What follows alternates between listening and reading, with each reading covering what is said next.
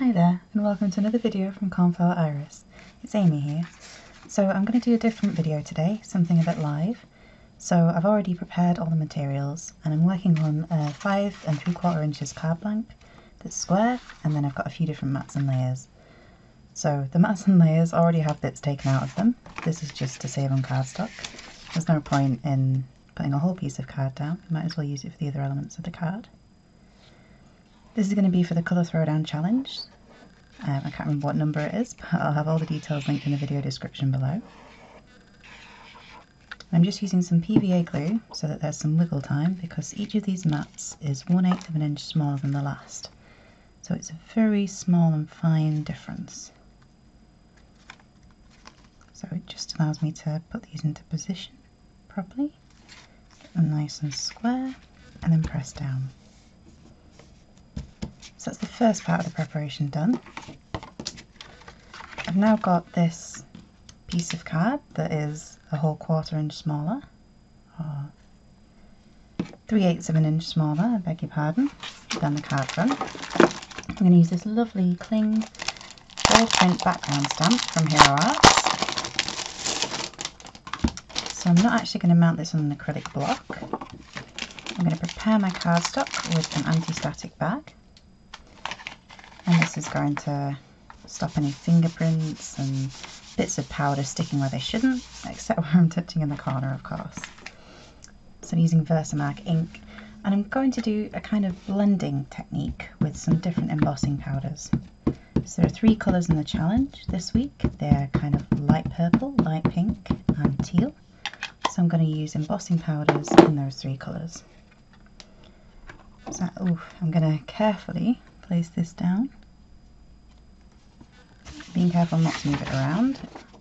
And then using a piece of copier paper, I'm going to press this really firmly and make sure I go over everywhere on the cardstock into the stamp. So this is a 300 GSM piece of card, which means that it's going to withstand some of the heat I apply to it, and also withstand some watercolour techniques that I'm going to hopefully apply later. We'll see how it goes. So there's a bit of Versamark ink on the outside of that paper, but I'll use the inside for the embossing powders. And you might be able to just see, perhaps not, but there's a slight impression on there.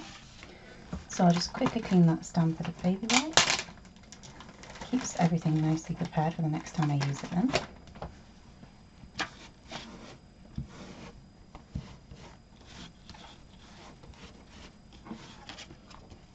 Okay, and that's that done. So now Some embossing powders. So I have three different colours. I have this American Crafts Zing in aqua, I have pink and purple, or lilac even, in the Papermania. So I'm going to go, I think, from, why not go in a diagonal? I'm going to start with the pink. Make sure there's nothing stray on there. And gently put some about a third of the way down in a diagonal kind of pattern. Okay, and then I'm going to make sure to tap off in that direction so you can see part of the image is covered. And then this excess can be put back into the jar for next time.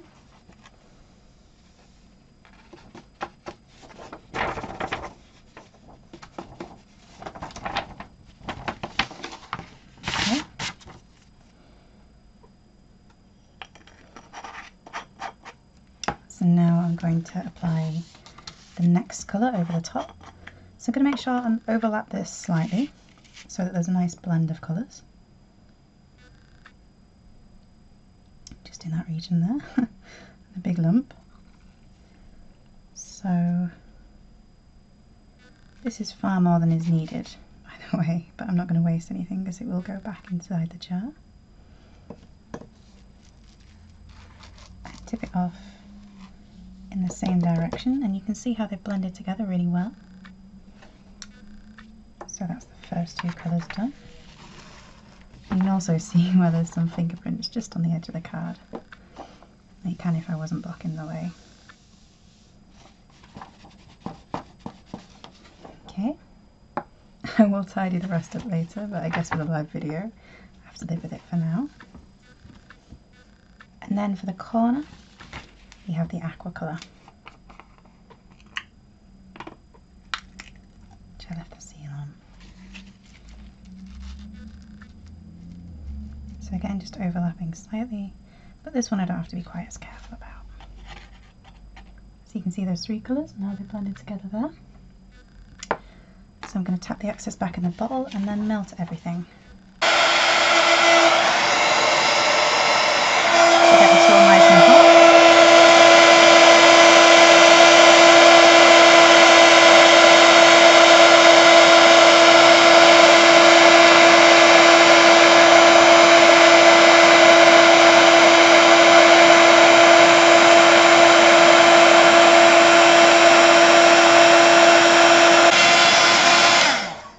so now that everything's gone nice and glossy,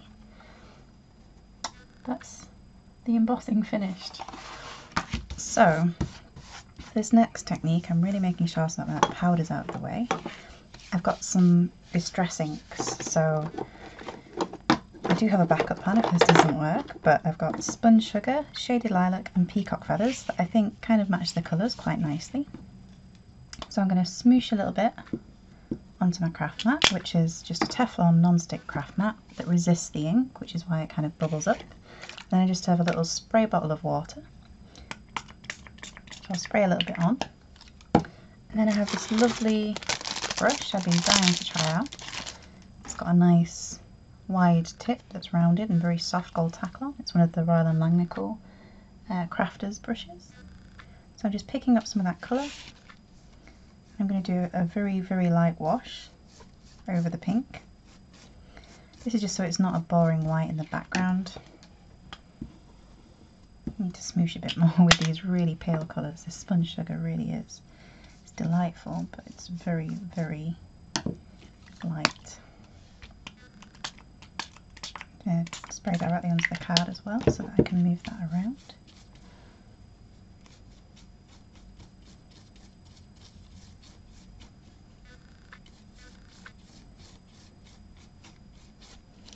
See, it's not a very difficult technique. Very, very simple.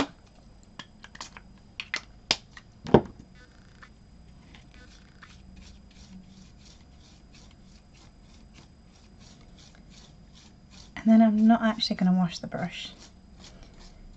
I'm going to keep some of that pink on there and then just blend in the next colour.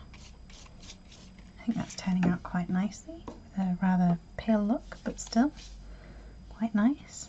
So pat without the powder on. I just clean some of that up. And then put some shaded lilac down. Probably going to use a little less of this colour. Just pick up a tiny amount first because you can see that's quite strong, quite bluish as well.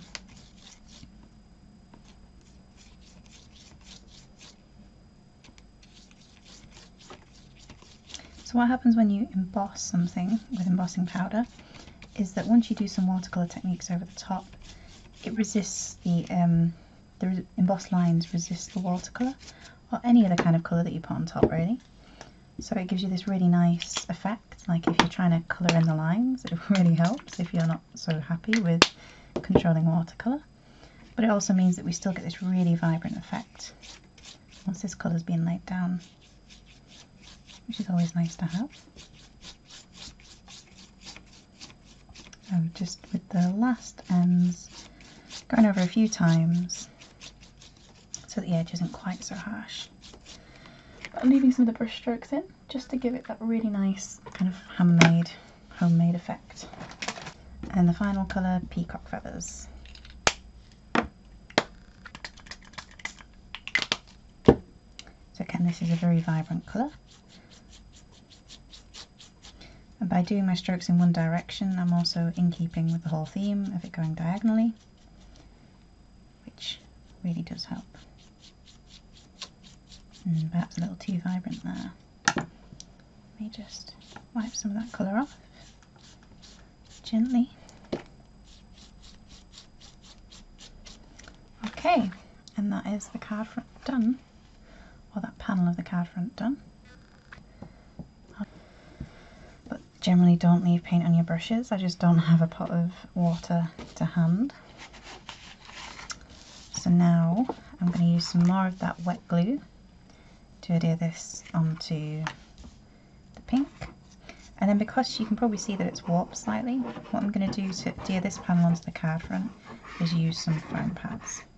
So you don't need tons of glue.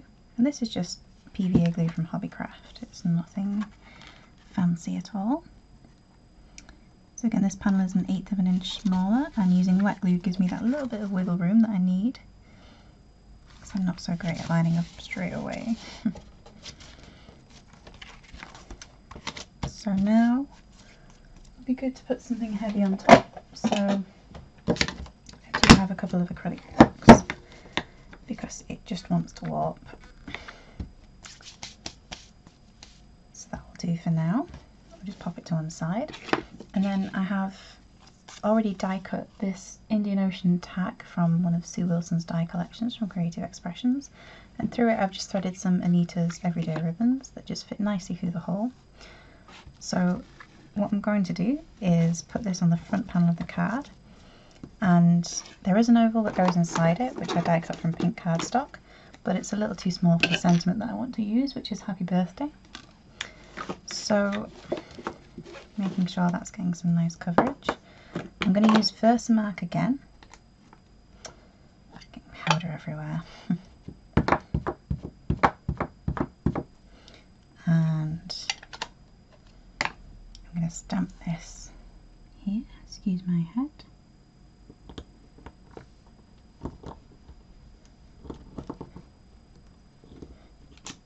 Okay reasonably straight. I suppose that will do. And now because this is on the purple, let's emboss that in pink.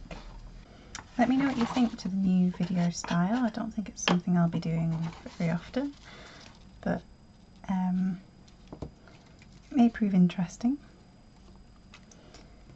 So, you can see that I've missed part of the birthday, but I don't think it matters too much.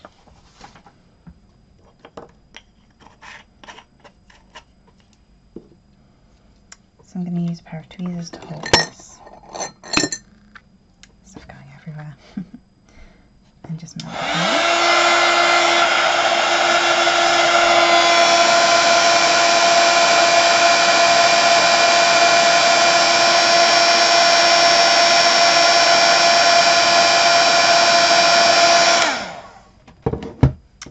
So that's actually taken the qualities of the cardstock behind it, which is really quite nice.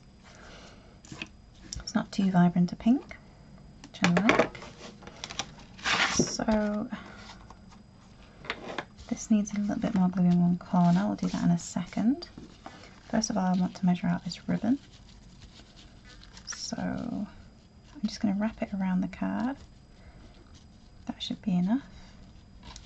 And then cut it off about here.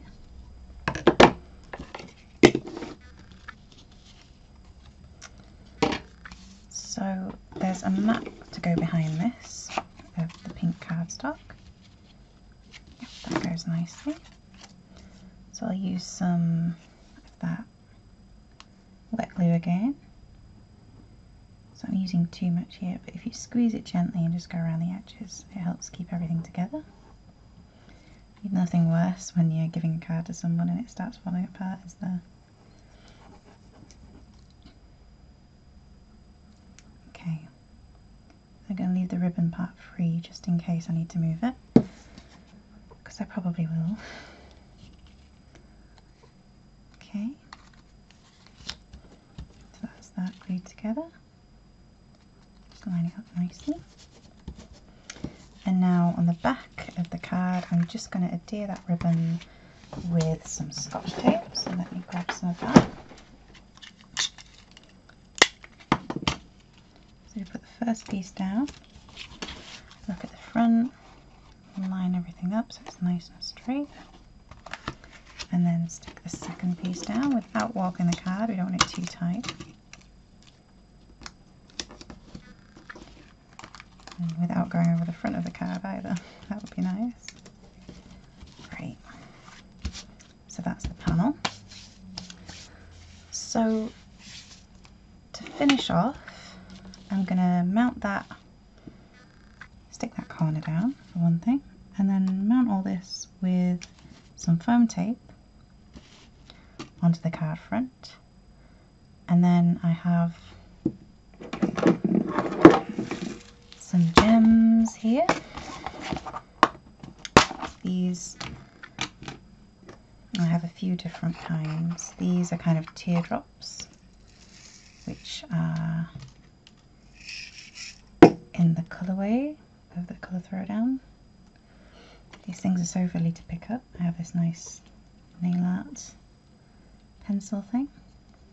So if we try and incorporate the colours into different areas, I quite like the raindrops. And we also have some flowers in this selection. So you can spend a little time and make it look like the flowers are coming off of the branches. So I'm just going to arrange some of these now. I'll put on some music and catch you back very soon.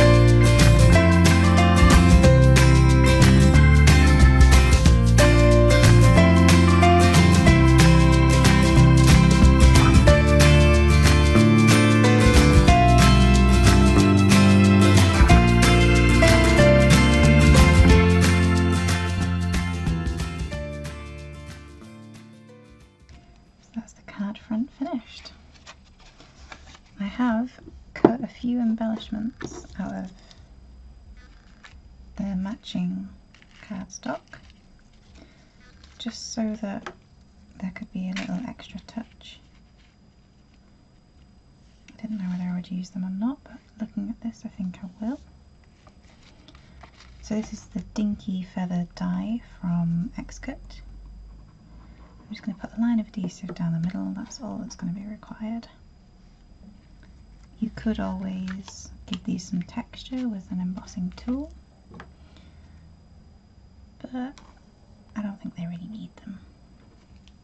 It's such a busy card front really that they would get a little bit lost.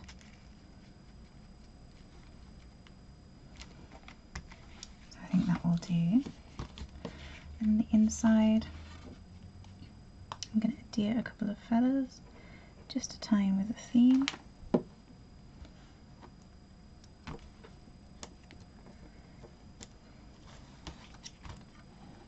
And I will put a in the middle and put some cornflower iris branding on the back. So I hope you've enjoyed this video. I'll be leaving you with some stills at the end as always. And if you really liked it, you know what to do. I'd love to hear from you, so like, comment, subscribe, have a look at the blog, Twitter, Facebook, anything else, you're very welcome. Thanks so much for watching. I'll catch you next time.